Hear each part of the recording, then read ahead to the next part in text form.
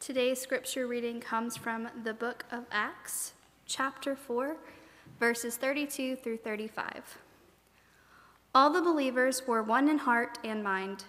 No one claimed that any of their possessions was their own, but they shared everything they had.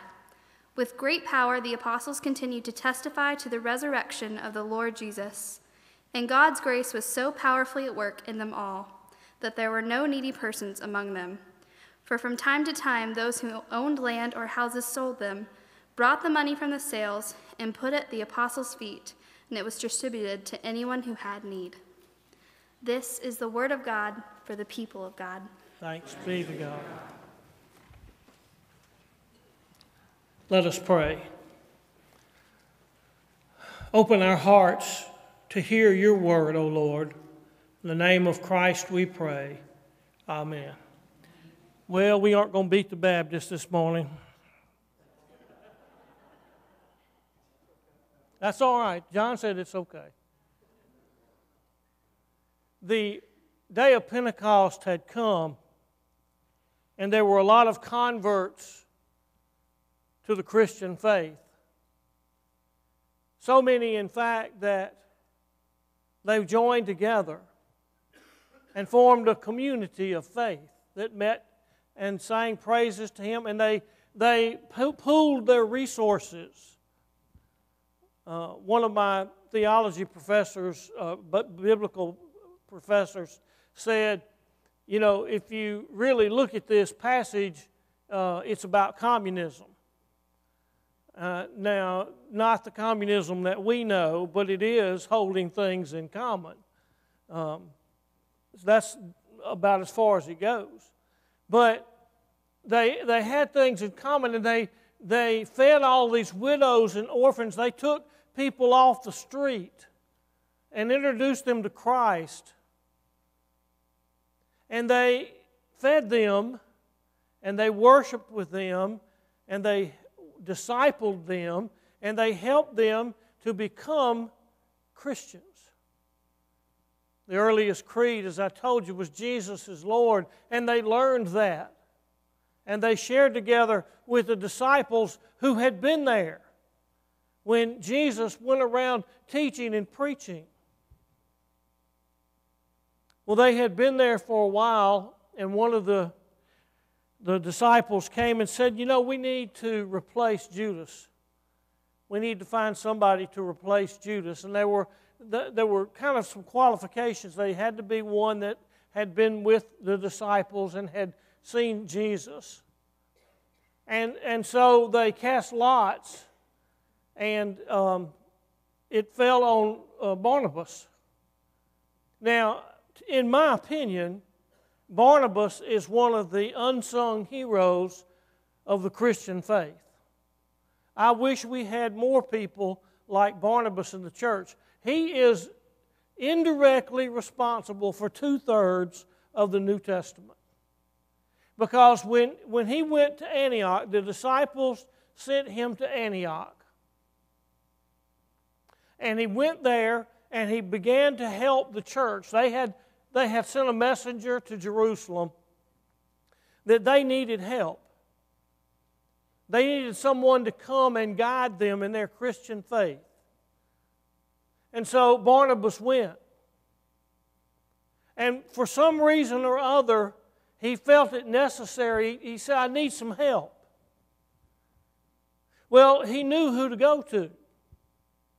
And so he left and he went to Damascus and he got Paul. Now, we're not sure what Paul was doing at this time.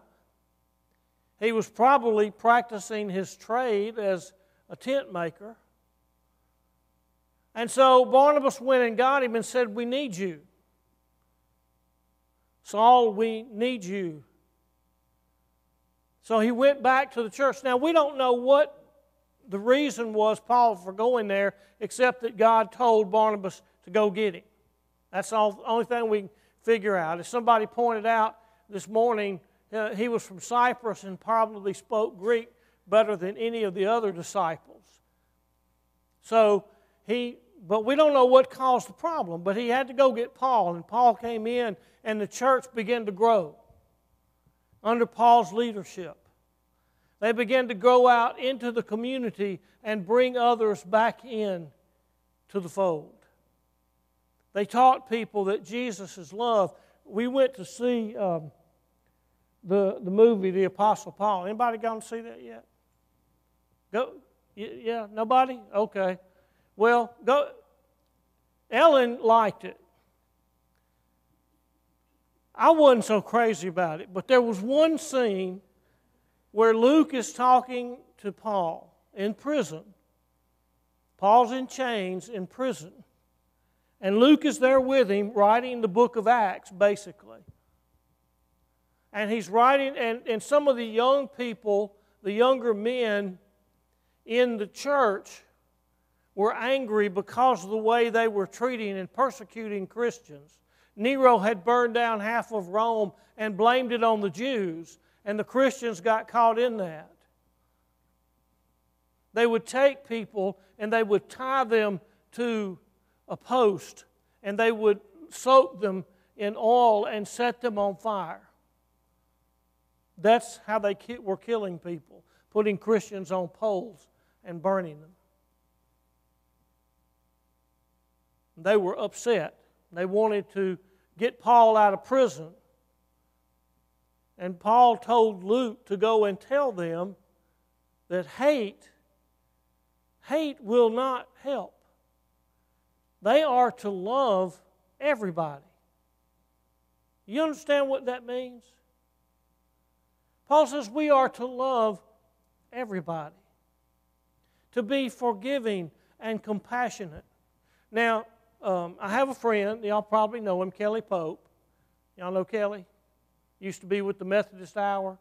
Anyway, uh, Kelly used to, he sang a lot, and and and old old, old Kelly uh, said uh, to sent my daughter a letter when she was born, and said, "I don't I don't like your daddy, but I love him because Jesus said I have to."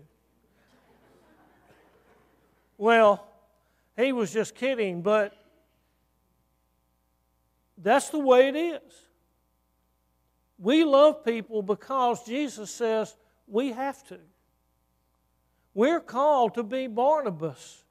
Let's just suppose for a minute that you're a Sunday school teacher or a mentor for somebody in confirmation. You don't know what your witness to that person might be, how they might turn out. You don't know how that person, what that person can accomplish in his or her life. You don't, you don't have any idea. They may, they, these children may, may grow up to be part of the great revival movement that I hope takes place in the next generation. Pray that it takes place now. Come, Lord Jesus. You don't know that when you, when you are mentoring these people, what exactly is going to happen in their life. When they accept Jesus Christ and you walk them through the Bible stories that become part of their life, you never know what your influence on that person might be. Lord, I pray for more Barnabases in the world. Paul is important. Well, as a matter of fact, Luke traveled with Paul.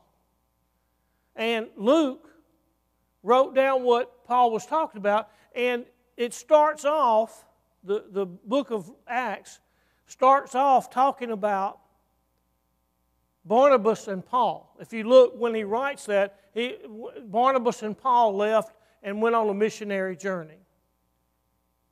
That's what happened when Paul came to Antioch. The church became strong, so strong, in fact, that they wanted to send Paul and Barnabas, uh, Barnabas and Paul out to do a missionary trip around the world.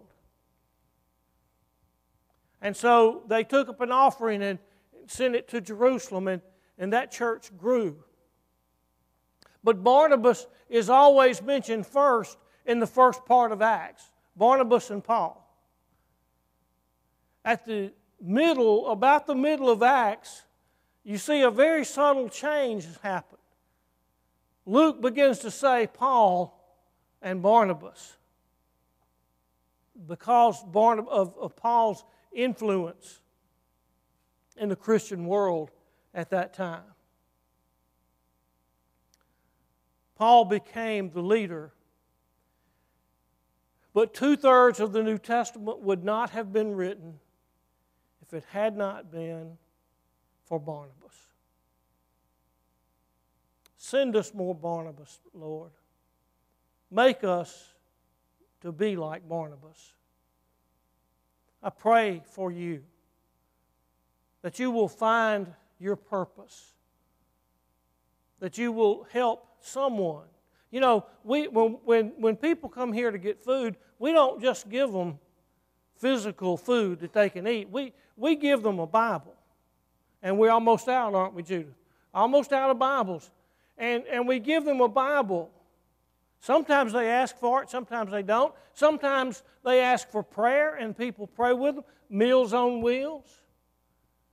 The people go in, they don't just go up and drop the box off. They go in and they witness to that person. They, they spend a little time with them. We got people that do things like that all the time. We got people uh, back during um, the height of the flu season, the word came down that uh, Forrest General really didn't want ministers to come visit those people who had the flu. But we had people going in the church, from the churches going in anyway. We have people that go visit in the nursing homes. We have people that go visit in the hospitals. We have people that go visit folks at home. We have a ministry of taking care of people when they've had a death in their family or when they're sick. We, have, we, we try to provide a meal for them. All of these things are great. They help and encourage people to, to it, it's part of the body. These things happen because it's part of the body of Christ. Be Barnabas. Be Barnabas for somebody today. Barnabas loved the Lord. And Barnabas loved Paul.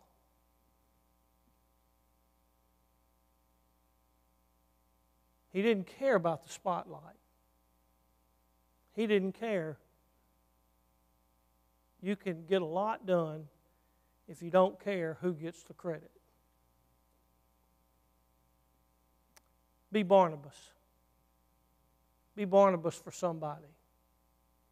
Let us pray. Lord, we call on your Holy Spirit to fill us and to help us be encouragers like Barnabas.